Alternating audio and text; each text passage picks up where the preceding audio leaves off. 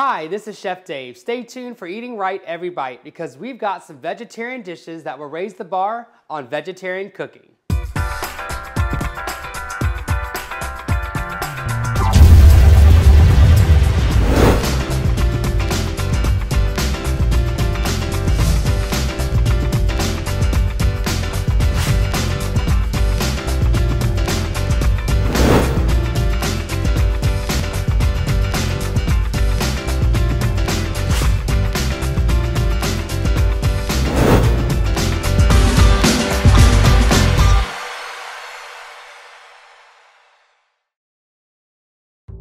Vegetarian entrees don't have to be bland and boring. In fact, whether you just want to add some more flavor or fiber to your meals, or if you're thinking of becoming a vegetarian, you'll love both of these delicious dishes. Green and white meatless lasagna and a primavera with zucchini, tomatoes, and corn. And like every recipe you'll see on Eating Right Every Bite, they're designed for people just like you and me, people who have had weight loss surgery. I'm Chef Dave, and for much of my life, I was a beast. So let's get started with some full flavor, low fat vegetarian dishes.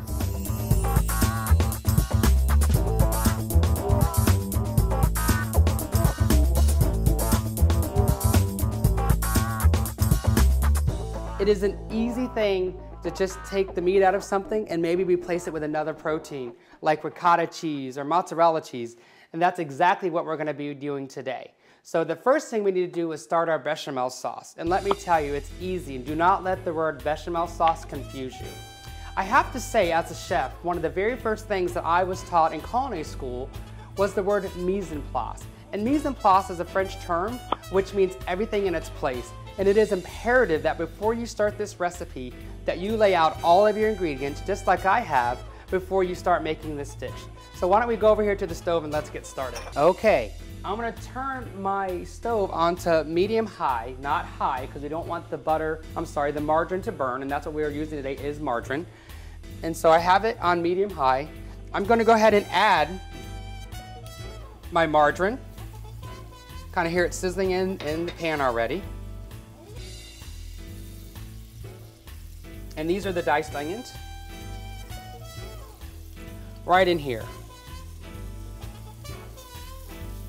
You want to cook these onions for right at about a minute. You want to get them to where they're not sweating and clear, but just enough to kind of break down the, the, initial rawness of the onion because you want to infuse that margarine so that the bechamel sauce actually tastes better.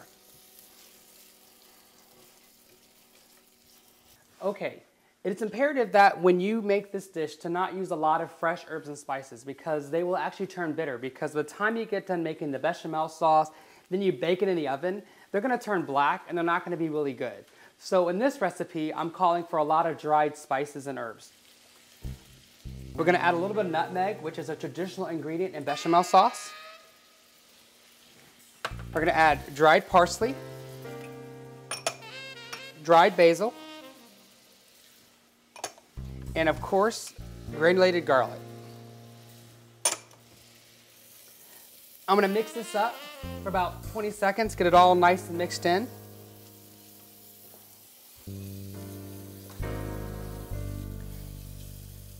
Next, we're gonna add a little bit of cornstarch. This is gonna help thicken the bechamel sauce. You wanna make sure that you get like a heat um, a, a, a, plastic spatula that can actually take on a little bit more heat than what a, a cheapo one for like 80 cents would do. This one was like six bucks. So this one can take on more heat so it doesn't melt in the pan. We got this all mixed in. And then we're gonna take our two cups of milk and add this right into our pan.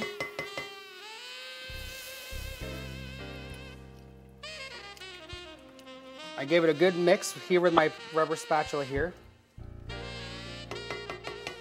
I'm now gonna switch over to my whisk. And I'm just gonna keep whisking this to make sure that it doesn't scorch because dairy products, it's the fat in the milk that will actually start to burn. And if you scorch this dish in the beginning, you cannot use it. You'll have to start all over again. So make sure you keep a watchful eye on the bechamel sauce and just stir it. And I like to say if you stir it like in a figure eight motion, what happens is it'll actually get most of the bottom of the pan. And so just think of a figure eight, like ice skating or something. Okay. Well, this is about ready to bubble. So we'll finish up adding the cheese. Okay, the bechamel sauce is now simmering, which is exactly what we want it to do. And now I'm gonna add my spinach, and this is frozen. Um, and you wanna make sure that you, when you defrost it, that you squeeze out all the moisture from the spinach before you put it into the sauce. Or it'll, make, it'll actually make your um, bechamel sauce not thick anymore, it'll actually thin it out again. We're also going to add our black olives, our cheese, and I also have Parmesan cheese, but I'm only gonna add half. We're gonna reserve the other half for the top when it goes in the oven. I'm gonna turn my heat off because I'm done cooking it. What you're gonna have is a really good, thick, ooey gooey, cheesy spinach mixture bechamel to go with our lasagna. All right, so let's go put this lasagna together. Okay, ricotta cheese mixture. This is important that you remember to do this step. We're gonna add our ricotta cheese to this, but we're also gonna add one egg. The egg is what's gonna help keep the cheese from becoming too loose as it bakes. Because ricotta is a cheese and it will actually um, begin to melt because of the heat. And if you don't have the egg for binding, it'll actually just run everywhere. So just one egg. And let me grab some salt here. Just gonna take a little bit of pinch of salt onto this, a little bit of fresh ground pepper. I'm gonna mix this in.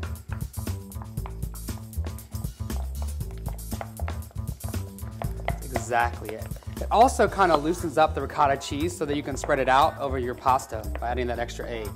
So it works out both ways for you. Okay, so now let me get some space here to put this here. And I also have my baking sheet pan here.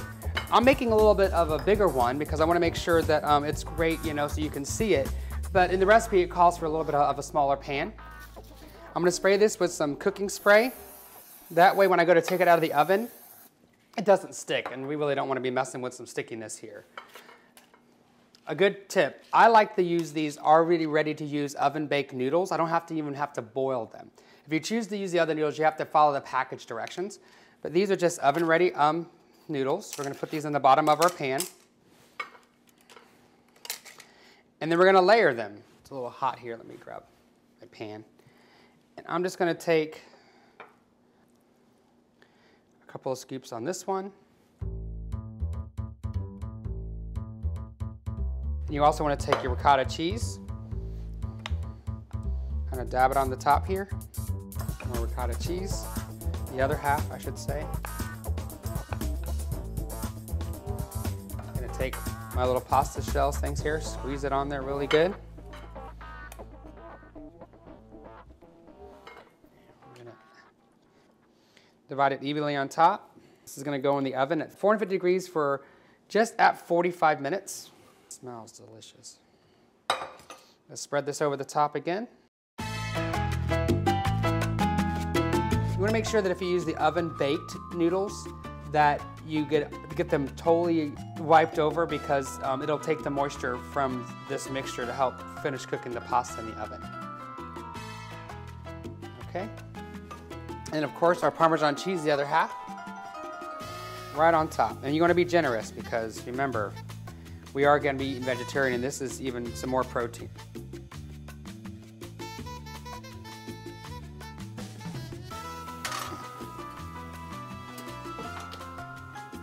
Now that needs to cook for 45 minutes. It's exactly what it was supposed to look like. It's awesome. Mmm. Looks really good. All right, let's see here. Should come right out of the pan. Wow. Look at the layers. You got the ricotta, the spinach. It's really awesome. I just love the way that this tastes and the way that it looks. It goes really, really well with just about any type of salad that you can think of, like a Caesar salad or a side salad. It makes a complete vegetarian meal. Of course, always, you can always add some fresh herbs to this. It's really, really good. This is gonna be great. Well, I'm Chef Dave and we'll be right back with a quick kitchen tip and a delicious recipe for some primo primavera. Be right back.